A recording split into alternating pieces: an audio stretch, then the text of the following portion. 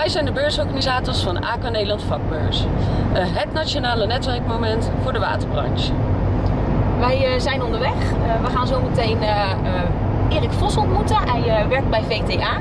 En um, hij is exposant van Aqua Nederland Vakbeurs. En we mogen een ochtendje met hem meekijken. En we gaan een bezoek brengen aan, aan de Avico.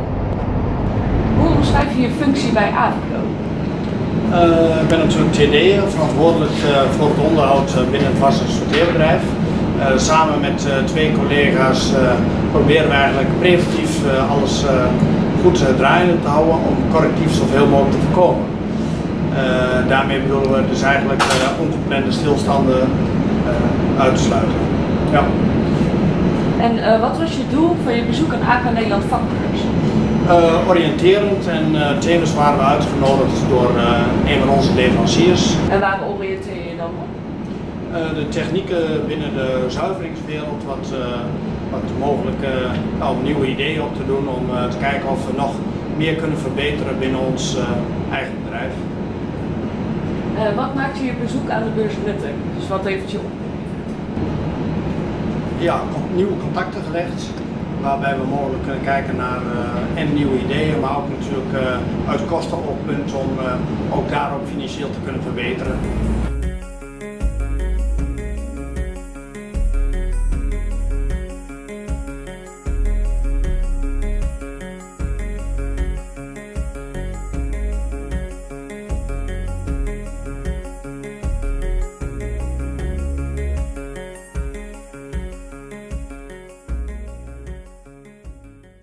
Erik, op welke manier uh, bedient VTA de afvalwaterindustrie? Um, wij maken uh, op maat gemaakte uh, polymeren en andere soorten systeemproducten. wij onderscheiden ons eigenlijk omdat wij een, een computergestuurde productieunit hebben die de producten op maat kunnen maken voor klant en, en niet alleen een normale productierange.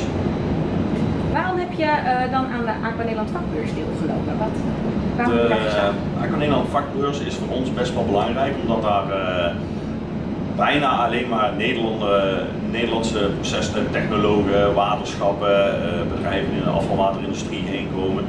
En ja, voor ons is dat passender dan een grote internationale beurs. Hier zit een polymeer wat VTA bij Avico levert. Witte, een beetje slijmerige spul is het geworden. Wat heb je afgelopen deelname bereikt? Kan je daar iets over vertellen?